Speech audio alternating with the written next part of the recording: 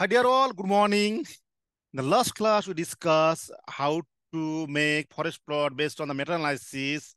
So today we will discuss uh, an important term, publication bias.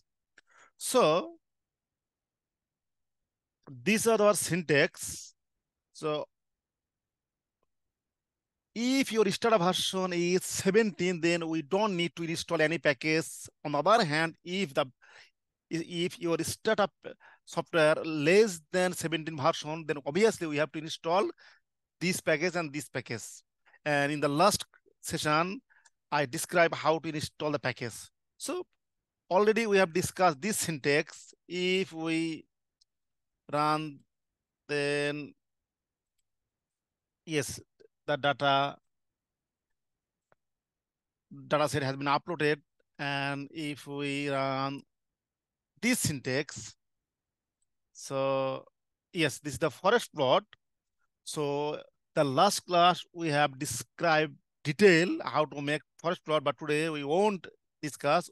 Today we'll discuss how to test the publication bias. So this syntax for creating funnel plot. So yes, if we this funnel plot, if each and every dot belongs to the graph within the graph that is symmetric, then we can say that, that there is no chance of uh, publication bias.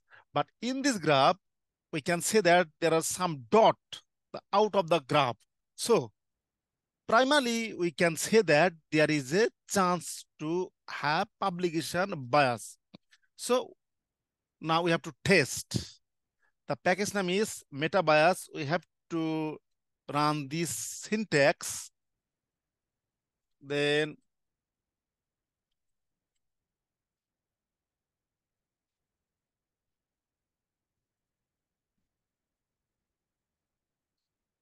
yes, this is our Egger test. This is called, this test name is Egger test.